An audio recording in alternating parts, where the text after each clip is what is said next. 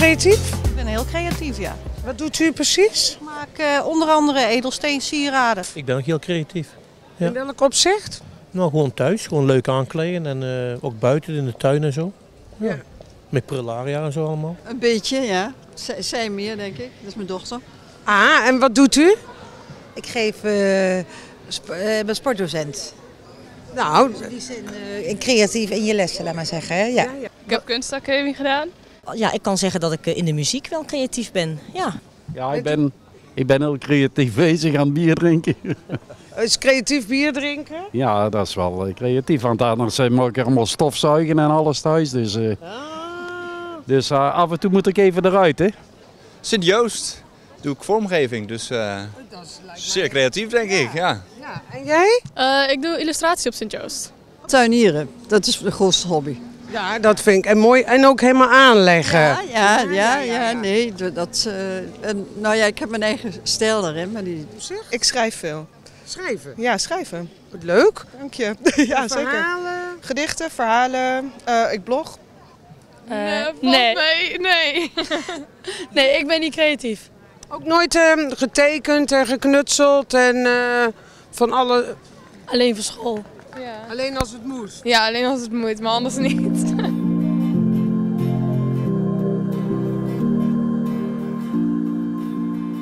We zitten in de hal van het eh, stadhuis met Henk van der Velde, fractievoorzitter van eh, de PvdA Breda. Voor het eh, mooie schilderij van het beleg van Breda. Deze uitzending gaat over creativiteit. Eh, creativiteit kan heel breed opgepakt worden. Wat, wat doet u zelf eh, aan creativiteit? Ik, ik, ik zing in een koor, Capella Breda. Dat, Ja. eh, dat doe ik nu eh, een jaar of drie. Eh, en eh, daarvoor heb ik heel lang bij een ander koor gezeten. En dat is een, eh, een koor, en daarvoor ook een koor wat, ja, wat heet klassieke muziek zingt. Maar dat is natuurlijk klassieke muziek van, eh, van alle tijden. Van oude muziek vanuit de renaissance tot aan eh, hedendaagse muziek en eh, alles wat ertussenin zit. Ja. Zo- Zorgt dat ook nog voor persoonlijke groei? Of Ja, eh, je merkt als je, als je bezig bent met zoiets, en ik heb ook zangles, dat je, dat je daardoor weer op een andere manier met je, met je, met je stem, met je, met, je, met je lijf om kan gaan. En nou ja, dat, dat kun je persoonlijke groei noemen. Dat je weer ontdekt dat er, dat er ergens groei is. Dat is eh, en dat is wel, eh, wel oké natuurlijk. wat doet u nog meer in uw vrije tijd naast zingen? Of, Aan cultuur? Ja. eigenlijk niet. Een beetje eh, passief eh, genieten soms van een, eh, van een concert of een theatervoorstelling, maar niet door zelf dingen te doen. u, u zit in de, in de raad voor de, Ja. voor de PvdA. Heeft u cultuur in uw portefeuille zitten? Nee, dat heb ik niet in mijn portefeuille zitten. Nee. Ik heb in mijn portefeuille, de, de- laat ik maar zeggen, meer harde dingen. Eh, het geld en de economie en eh, werk en dat soort van, eh, van vraagstukken. Ja, Maar u vindt het wel interessant, denk ik. als ja natuurlijk, natuurlijk. Maar je moet natuurlijk, kijk, als je zelf, zelf mm, ja, dik in de cultuur zit, dan is het ook alweer moeilijker om woordvoerder te zijn op dat terrein. Maar het blijft natuurlijk wel boeien, dat Ja. klopt. Ja. U, u zegt, dan is het lastig om woordvoerder te zijn? Nou ja, als je, als je te maken zou krijgen met een, eh, met een subsidieaanvraag, eh, eh, subsidievoorwaarden waar je eh, vervolgens eh, als, als, als koor zelf van zou kunnen profiteren, dan moet je natuurlijk voorkomen, want eh, op die manier wil je geen, geen belangen met elkaar vermengen. Als we kijken naar de Bredaanse politiek, kunnen we daar dan eh, bepaalde creativiteit eh, bespeuren? Eh, Ja, eh, eh, op, op verschillende manieren eigenlijk. In de politiek is het het zoeken van, van kansen die er zijn voor de stad Breda, voor, voor, voor de dorpen, voor, voor mensen in buurten en wijken. Maar je moet je wel altijd realiseren dat, dat daar waar de kansen er zouden zijn, ze nog niet voor iedereen voor het oprapen liggen. Niet iedereen is in staat om, om kansen eh, te grijpen. En daarom moet je, vind ik, eh, maar dat is, dat is natuurlijk ook een opvatting vanuit de Partij van de Arbeid, daarom vind ik dat je mensen in staat moet stellen om eh, die kansen ook te grijpen. Maar ja, je hebt ook op een andere manier creativiteit. Als mensen bezig zijn om te laten zien waar hun politieke partij voor staat, ja, dan, dan moet je af en toe wel, wel, wel creatief zijn. De, de mogelijkheden zien en de kansen weten te benutten.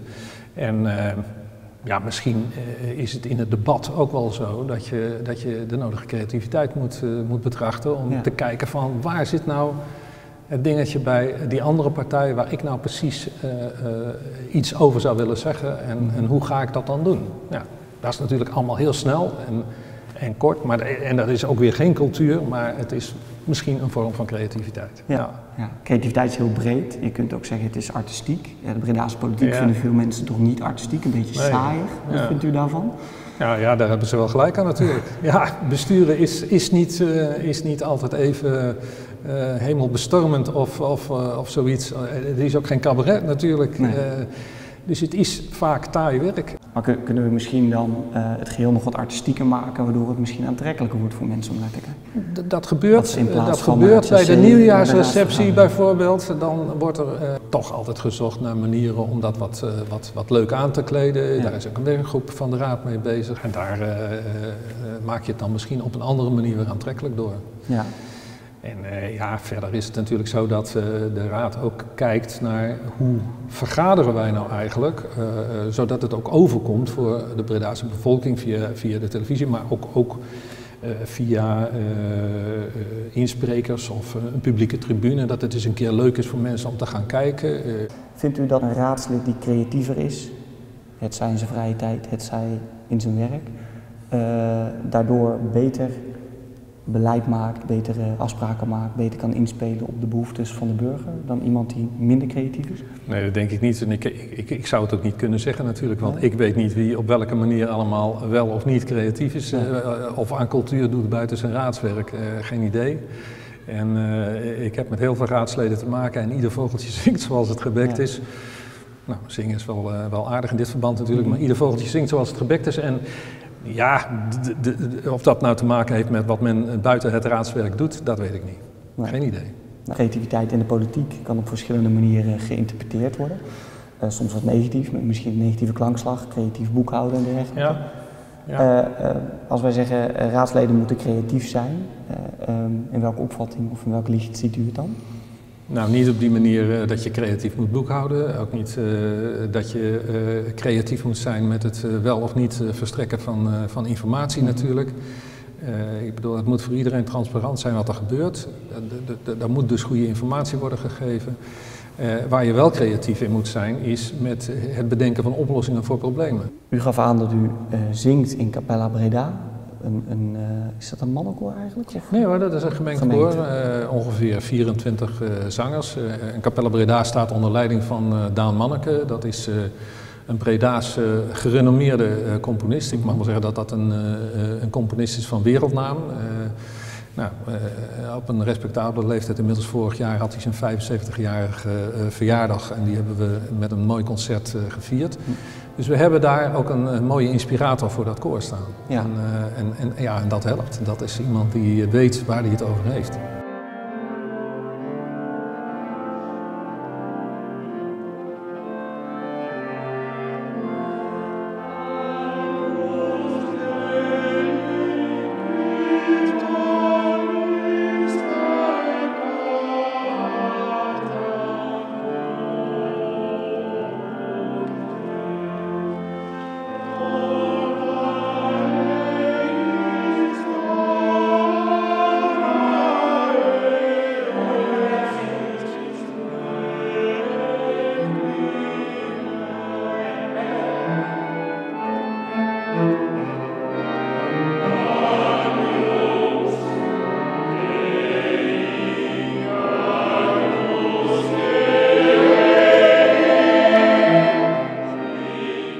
Geeft het voldoening om creatief bezig te zijn? Oeh, ik denk het wel. Ik denk, eh, je moet het wel echt in je hebben, maar als je het kan uiten, dat is een van de ge- beste gevoelens die je kan hebben, denk ik. Als jij eh, jezelf kan uiten in je, in je werk. Ik fotografeer nog steeds ook wel. Ja, dat geeft me wel voldoening, want als ik dat niet doe, dan mis ik toch een, een soort uitlaatklep of zo. Geeft dat voldoening om eh, creatief bezig te zijn? Ja. ja, ook regelmatig iets veranderen. Hè, dat je niet altijd in dezelfde sleur zit, dat je gewoon... eh? Geeft dus een andere kijk op. eh, Ja. Moet je creatief cult politiek bedrijven? Moet je creatief, nou liever niet. Ik vind wel dat mensen gewoon recht door zee moeten blijven. Dus niet, ja, in zoverre creatief, ja, dus kun je ook weer in verschillende manieren opvatten natuurlijk. Hè? Ja, dat je dan toch eh, zelf na gaat denken over wat kan. Of dat je zelf bepaalde dingen gaat invullen en niet alleen maar volgens een bepaald stramien en alle regeltjes. Nou, ze kunnen misschien wel wat oplossingsgerichter te werk gaan. En als het op die creativiteit aankomt, ja, vast wel. Dus dan zie je creativiteit ook als een denk, manier van denken. Ja, out of the box denken. Als je creatief bent, dan kan je soms op een andere manier naar zaken kijken dan recht toe recht aan. Dus ik denk dat misschien een creatieve geest toch wel handig is in de politiek. Ja.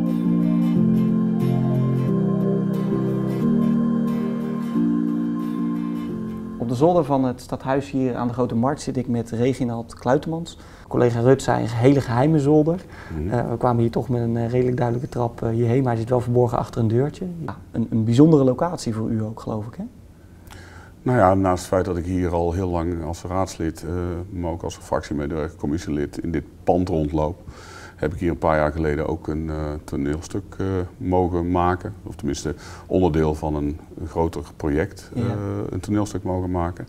En ik heb toen heel snel voor de zolder gekozen, omdat ik ja, de mogelijkheden van een zolder en toneel, dat, ja, dat doet je fantasie wel opborrelen. En het mooie aan deze zolder is, is dat nou, er zitten verschillende niveaus in.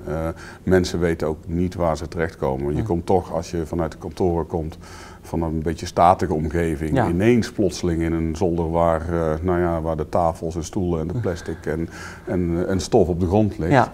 Maar ja, als theatermaker is dat natuurlijk een feestje. U bent acteur, maar ook regisseur. Uh, u zit ook in de raad voor D66. Klopt. Uh, ja. Bent u raadslid. Heeft u eigenlijk cultuur, creativiteit linken we vaak aan cultuur, mm -hmm. heeft u dat ook in de portefeuille of niet? Nou, deze raadsperiode niet, maar dat heeft natuurlijk te maken met het gegeven dat ik uh, commissievoorzitter mag zijn van de commissiemaatschappij. En daar valt de commissie, de, het onderwerp cultuur valt daar binnen. Ja. En het, uh, uh, het mooie aan commissievoorzitter zijn is dat je van alles mag doen, maar je maakt formeel geen onderdeel uit van de commissie. Nee. Maar vorige periode was ik zeker woordvoerder op het gebied van onderwijs en ook uh, cultuur binnen D66. Ja. En daarvoor ook al, heb ik ook al een een en ander daarin gedaan. Dus ja, cultuursector is wel mij heel erg lief. En, ben ik graag mee bezig. Ja, ja. Toch, toch, zijn er ook raadsleden die zeggen, ik hou heel erg van cultuur, ik, ik ben er zelf ook werkzaam in of ik ben er mee bezig, zoals u ook bent. Mm -hmm. uh, dan kies ik er bewust voor om juist dat onderdeel niet in mijn portefeuille te nemen. Ja, dat klopt. Dat is een beetje de eeuwige spanning van raadslid zijn. En uh, raadslid wordt je natuurlijk geacht ook maatschappelijk actief te zijn. Mm -hmm. En hoe ver ga je dan in de belangenverstrengeling? Er zijn er parallellen te trekken tussen het, raads, het werk als raadslid en uh, de activiteiten die u in uw vrije tijd doet ja. met betrekking tot Ja, dat is wel mooi dat je dat vraagt, want er wordt mij natuurlijk vaker gevraagd van, goh, je bent acteur, dus nou, dan kun je ook wel, uh, ja. hè, dan weet je ook wel wat het is om Iets politicus te zijn. Ja. ja. Ik, ik, heb, ik heb dat wel, um, natuurlijk, die parallellen die zijn er. En zeker ook uh, als je met cultuur en zeker met podiumkunsten actief mm. bent. Maar het is niet zo dat je alleen maar toneel speelt. Hè? Want dat, dat nee. werp ik wel verre van me af. Want, Ja.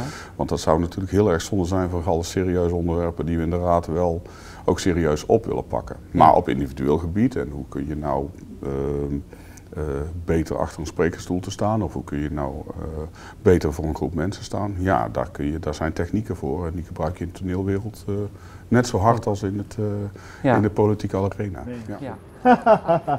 Jullie kunnen het gewoon niet hebben dat hier morgen deze hele wijk plat gaat.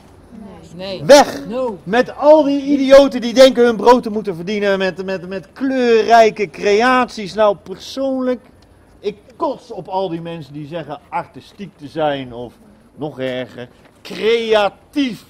En weg ermee! Ik heb u zojuist betrapt op het intimideren per telefoon en op het toilet. Het is maar goed dat ik mijn zelfverdedigingscursus met een 9, ik mag wel zeggen een hele ruime 9, heb afgesloten. Hè? Dus dat is niet verder het probleem. Maar als we kijken, uh, creativiteit in totaliteit, uh, wat betekent creativiteit dan voor u? Um, creativiteit is ontzettend belangrijk. Um, waarom? Omdat uh, je kunt nog heel veel, zoveel techniek en kennis en kunde inhouden, uh, in, in huis hebben. Mm -hmm. Maar als je niet over een bepaalde mate van creativiteit beschikt, als persoon, maar ook als groep mensen, mm -hmm. dan kom je niet tot oplossingen. Okay. En over oplossingen heb je vaak een creatieve geest nodig. He, naast het gegeven dat je moet weten waar je het over hebt, uh, moet je moet visie kunnen hebben. Dat is allemaal waar. En dat is ontzettend belangrijk. Maar juist door, door, door zaken aan elkaar op een onorthodoxe manier te kunnen verbinden aan elkaar, mm -hmm. geloof ik erin dat, dat de creativiteit die, die je daarvoor nodig hebt, dat het een heel belangrijk onderdeel is. Ja. Dus creativiteit is belangrijk. Uh, ook belangrijk voor raadsleden? Ja, zeker. Maar er zijn heel veel facetten aan raadslid zijn. Hè. Ik bedoel, je hebt mensen die gewoon, die zijn, dat zijn geboren sprekers. Je hebt mensen dat zijn hele goede onderzoekers. Je hebt mensen, hè, bedoel, je hebt verschillende facetten aan een raadslid. Uh, uh, en, en, en, en, creativiteit is er daar één van. Ja, ja. ja, ja.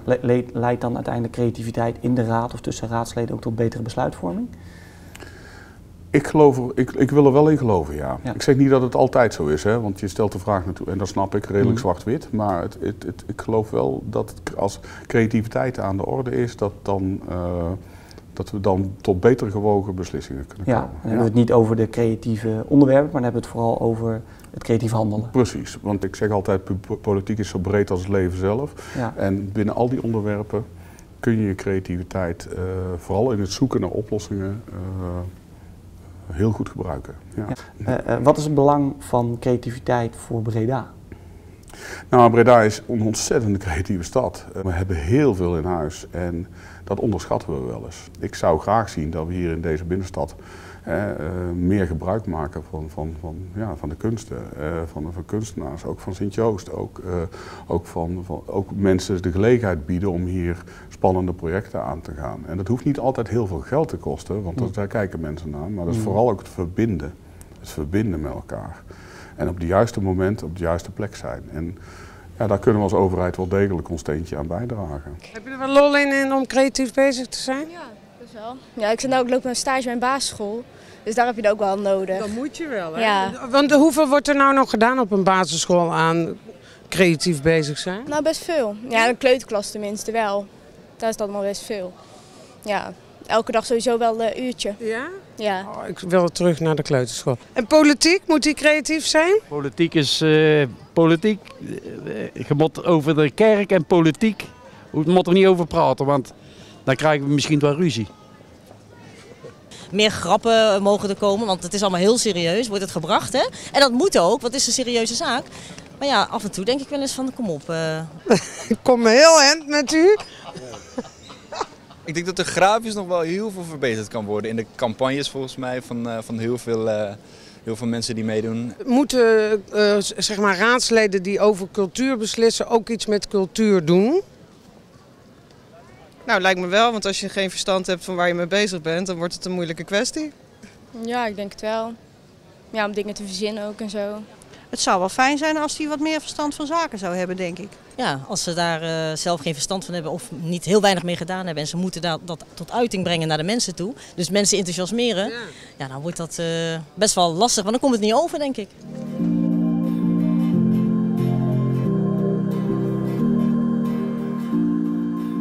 Ik spreek met Marianne de Bie, wethouder onder andere cultuur van de gemeente Breda. En we zitten in het stadskantoor.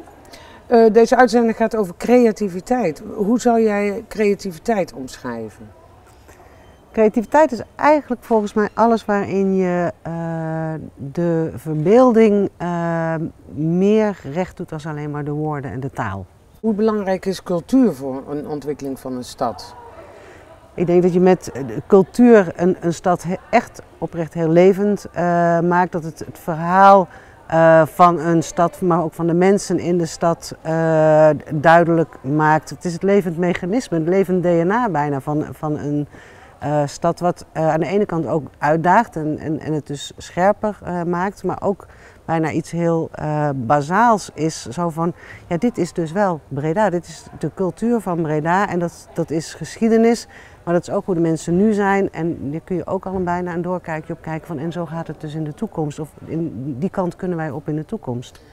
En um, wat, wat, uh, wat zijn de belangrijke ontwikkelingen die er nu zijn op het gebied van creativiteit in de stad? Ja, ik vind het fantastisch dat wij zo ontzettend, eigenlijk steeds meer creatieve bedrijven in onze stad uh, krijgen. De, onze creatieve industrie wordt gewoon echt steeds groter en je ziet daar gewoon echt hele mooie ontwikkelingen in de stad. Ja, zo'n uh, City of Imagineers. Ja, precies. Die, die, die zijn, dat is natuurlijk echt een club mensen die elkaar uitdaagt, elkaar stimuleert, uh, met elkaar nieuwe producten, projecten bedenkt. Wat zijn uh, uh, de grote beleidslijnen waar jullie uit aan het zetten zijn voor op het gebied van de creatieve industrie of voor de creativiteit van de stad?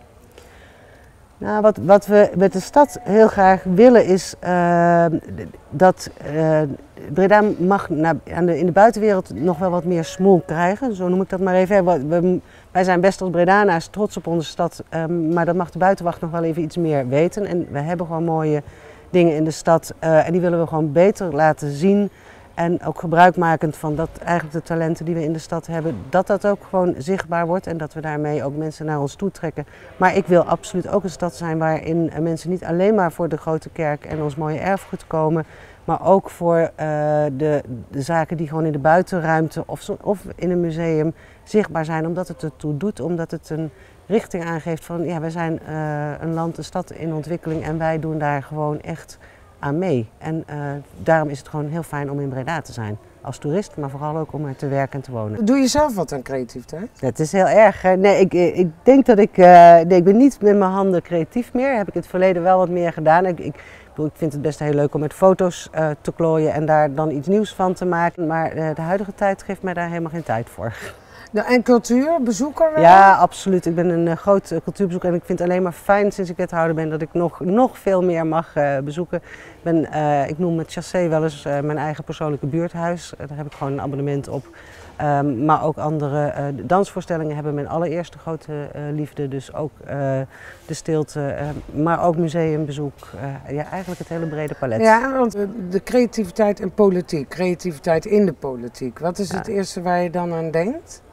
Ja, dan kom ik toch weer op het woord verbeelding. Ik vind, uh, politiek heeft ontzettend veel, veel regels en tekst en woorden en moeilijke uh, termen. Het heeft toen ik in de raad kwam best een tijd gekost dat ik dacht van welke taal wordt hier gebezigd. En ik, nou ben ik best nog wel talig, maar ik heb het ook wel weer heel erg nodig om dingen me te verbeelden van waar doen we nou eigenlijk ja. dingen voor. Als we een bestemmingsplan, ik noem maar eens even wat aan de orde stellen. Om maar iets heel Ja, dan, dan vind ik het dus wel heel erg fijn om uh, iets te kunnen zien. En op het moment dat je dan dus ook uh, nadenkt van is dit nou waar onze Bredaanse burger op zit te wachten, heb ik het ook wel nodig om me te kunnen verbeelden. Ja, in wat voor stad wil iemand nou wonen? Waar, uh, wat is nou het leven wat iemand wil leiden hier in Breda? En daar heb je, vind ik, gewoon verbeeldingskrachten voor nodig. En dat betekent dat je toch iets verder moet gaan dan alleen maar die letters. Zeker als dat van die droge uh, bureaucratische letters zijn. En dat zou voor jou de creativiteit, meer creativiteit in de politiek uh, uh, Ja,